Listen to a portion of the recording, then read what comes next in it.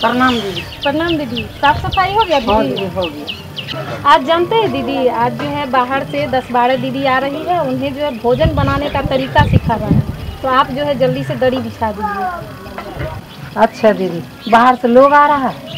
हम जाते हैं दीदी लगाने के लिए दरी बिछा देते हैं। प्रणाम दीना दीदी। प्रणाम प्रणाम। आइए दीदी हम तो आप ही सबका इंतज़ार कर रहे थे। आने में तो कठिनाई तो नहीं है नहीं, दीदी, नहीं। चलिए दीदी आइए सब बैठिए।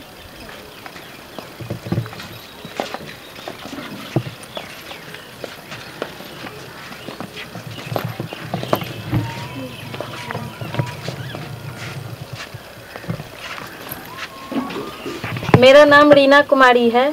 मैं खगड़िया ज़िले के अलौली ब्लॉक की रहने वाली हूँ। और अलौली ब्लॉक में ही आहार विशेषज्ञ के पद पर कार्यरत हूँ। दीदी आज जो है पोषाहार केंद्र में पौष्टिक आहार बनाने की सारी प्रक्रियाओं को बताएँगे। हाँ दीदी हम तो सुने हैं पोषाहार केंद्र पर पौष्टिक आहार बनता है। कैसे बनता है वो हमको जरा बताइए। हाँ हाँ दीदी हम लोग भी तो यही चीज़ सुने हैं। दीदी पोषाहार केंद्र चलता है। इसका मुख्य उद्देश्य क्या है? दीदी पोषाहार केंद्र के मुख्य दो उद्देश्य हैं। पहला है गर्भवती एवं धात्री महिलाओं को पौष्टिक आहार प्रदान करना और दूसरा है स्वास्थ्य संबंध स्वास्थ्य एवं पोषण संबंधित जानकारी देना। दीदी खाना बनाने की सारी प्रक्रियाओं को हम बारी बारी से बताएँ। दीदी आज हम पोषाहार केंद्र पर सबसे पहले साफ़ सफ़ाई के बारे में बताएँगे। दीदी सबसे पहले जो है दोनों रसोईया दीदी सेंटर पे आती है। उसके बाद वो जो है झाड़ू पोछा लगाती हैं, फिर बर्तन धो करके हाथ पैर धो लेती हैं, उसके बाद बाल्टी में पानी भर के ढक करके रसोई में रख देती हैं। हाँ दीदी, अब तो हम समझ गए हैं पोषाहार केंद्र पे सुबह सुबह रसोईया दीदी आती है तो झाड़ू पोछा देती है और उसके बाद वो बर्तन साफ़ करके धूप में सूखने के लिए दे देती। और पैर हाथ धो के बाल्टीन में पानी लेकर खाना बनाने वाले रूम में ढककर रख देती है। दीदी सेंटर में रोज एक ही तरह का खाना बनता है? नहीं दीदी प्रत्येक दिन सुबह दोपहर शाम का भोजन आहार तालिका के हिसाब से बनता है। दीदी आज की मेनू के हिसाब से प्रबंधन कमेटी के द्वारा वज़न करवाया गया है जिसमें कि चावल दाल आलू परवल सलाद और साग भी शामिल है जो कि रजिस्टर मेंटेन भी साथ ही साथ करवाते हैं।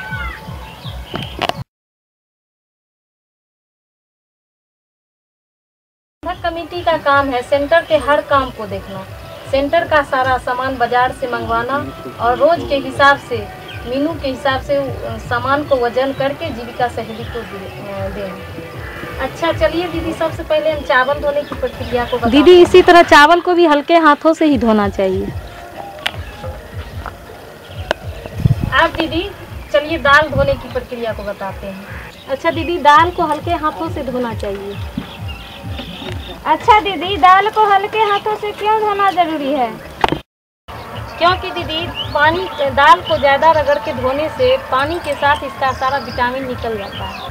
अच्छा दीदी विटामिन को बरकरार रखने के लिए हल्के हाथों से धोना चाहिए। तुम सही बता रही हो? सब्ज़ी बनाने की प्रक्रिया को बताते हैं। दीदी सबसे पहले हम सब्ज़ी को धोकर साफ़ बर्तन में रख देते हैं उसके बाद छील करके इसको बनाते हैं। दीदी हम अब जो सब्ज़ी बनाते हैं तो पहले काटते हैं तब धोते हैं। नहीं नहीं दीदी ऐसा नहीं करना चाहिए। सब्ज़ी को धोकर काटने से इसमें जो है विटामिन विटामिन रह जाते हैं। ऐसे पानी के साथ सब धुल जाते हैं। दीदी अब हम फिर साग बनाने की प्रक्रिया को बताते हैं। दीदी सबसे पहले सब्ज़ी जैसे धोते थे उसी तरह साग को भी धोना है धोकर उसके बाद बनाना है। अच्छा दीदी आज तो आपने बहुत अच्छा बात बताए। हम साग बनाते हैं तो काटते हैं उसके बाद धोते हैं तब कढ़ाई में डाल के बनाते हैं। आज तो आपने बहुत अच्छी बात नहीं नहीं दीदी ऐसा नहीं करना चाहिए क्योंकि इसमें सारे पोषक तत्व जो है पानी के साथ धुल जाते हैं। ठीक है दीदी अब हम भी इसी तरह बनाएँगे।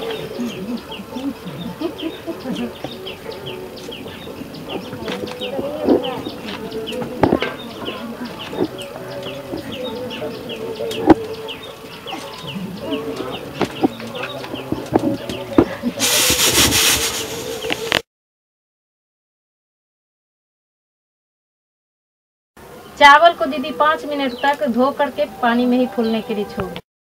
पानी उबलने दे, जितना चावल है उतना दुगना पानी देना है। जब पानी उबल जाएगा, उसके बाद चावल को पानी सहित उसमें डाल देना है और धीमी आँच में उसको पकाना है। अच्छा दीदी, चावल फूलने के बाद चावल अगर डेगची में बनाएँगे तो एक केजी चावल में उसका ढाई गुना पानी डालना है। और कुकर में अगर बनाएँगे तो चावल का दुगना पानी डालना है, ताकि चावल और पानी जो है बराबर हो जाए। दीदी अब तो ऐसा बात बता दिए इतना अच्छा कि अब तो जलावन का भी बचत हो जाएगा। जैसे हम लोग चावल बनाएँगे तो कुकर में बनाए या डेगची में बनाए तो मेरे जलावन का बचत होगा। ये हम लोगों के समझ में आ गया। दीदी अभी तक तो हम मार बाहर निकाल करके फेंक देते थे। नहीं दीदी अब ऐसा नहीं करना। मार में विटामिन रहता है उससे सारे विटामिन मार के द्वारा निकल जाते ठीक है दीदी। अच्छा दीदी अब दाल बनाने का हम तरीका बताते हैं। ठीक है दीदी बताइए बताइए। दीदी ढाई सौ ग्राम दाल में दीदी एक लीटर पानी डालेंगे और उसको कुकर में ही बनाएँगे। उसको कुकर में धीमी आँच पर उसको पकने देंगे। ठीक है ठीक। दाल को धीमी आँच में ही क्यों बनाएँगे दीदी? क्योंकि दाल का पोषक तत्व जो है उसी में रह जाता है और दाल खाने में भी स्वादिष्ट लगता है। हाँ दीदी।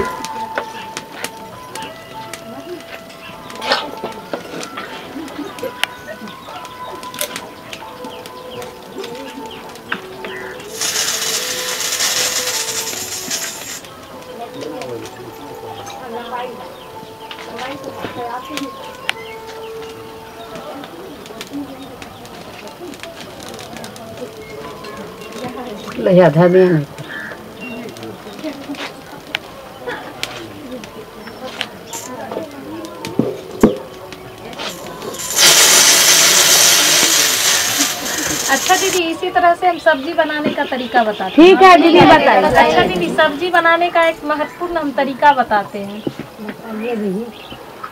सब्ज़ी को हमेशा धीमी आँच में ही पकाना चाहिए। तेज आँच में पकाने से सब्ज़ी का सारा पोषक तत्व तो जो है निकल जाता है जल जाता है। और धीमी आँच में सिझाने से उस, उसी में रह जाता है पोषक तत्व। अच्छा दीदी यही बात है दीदी? हाँ दीदी। अच्छा दीदी सब्ज़ी को बनाने वक्त एक बात का और ध्यान में रखना है।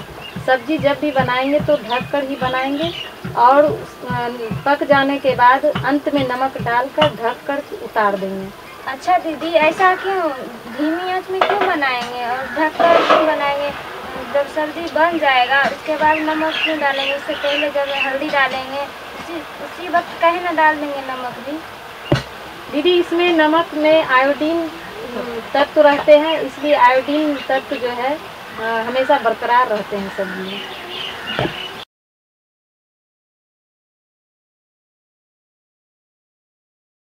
अच्छा दीदी चावल दाल सब्ज़ी। बनाना तो आप बता दिए। अब साग बनाने की भी विधि आप बढ़िया से बता अच्छा दीदी साग भी सब्ज़ी की तरह ही बनाना है उसको भी धीमी आँच में ढककर अंत में उतार देना है। सुबह से पौष्टिक भोजन बनाने की सारी प्रक्रियाओं को हमने बताए हैं। अब आप लोग क्या क्या सीखे हैं? जरा हमें भी सुनाएँ। दीदी सबसे पहले खाना बनाने से पहले आ, साफ़ सफ़ाई पे ज़्यादा ज़रूरी है और खाना बनाने से पहले हाथ पैर से अच्छी तरह से सब्ज़ी हमेशा ढककर ही बनाए और उसे बनाने के बाद ही ढककर रखे ताकि मक्खी और जो भी वगैरह वगैरह सामान है उस पे ना लगे। दीदी भोजन को जब भी बनाना चाहिए धीमी आँच में बनाना चाहिए इसलिए कि उसका पोषक तत्व जल न जाए। दीदी हमने तो एक बहुत अच्छी सी बात सीखी है कि सब्ज़ी को पहले धो लें और उसके बाद काटें। इससे उसका पोषक तत्व उसी सब्ज़ी में बरकरार रहता है। दीदी हमने बहुत अच्छी बात सीखी जो कि महत्वपूर्ण बात सीखी जो कि सब्ज़ी को अंत में नमक डालकर ढककर उतारना चाहिए क्योंकि उसमें आयोडीन बरकरार रहता है। दीदी हमने एक महत्वपूर्ण बात सीखी कि दूध को हमेशा हल्के आँच में गर्म करना चाहिए। दीदी हम ये बात सीखे हैं कि चावल दाल को कम पानी में हल्के हाथों से धोना चाहिए। अच्छा दीदी अब एक बात को और मन में गांठ बाँध लीजिए कि गर्भावस्था के दौरान तेल और मसाले की ज़्यादा मात्रा में लेने से उच्च रक्तचाप की बढ़ने की संभावना हो सकती है। अच्छा दीदी आपको बहुत अच्छी बात बताई।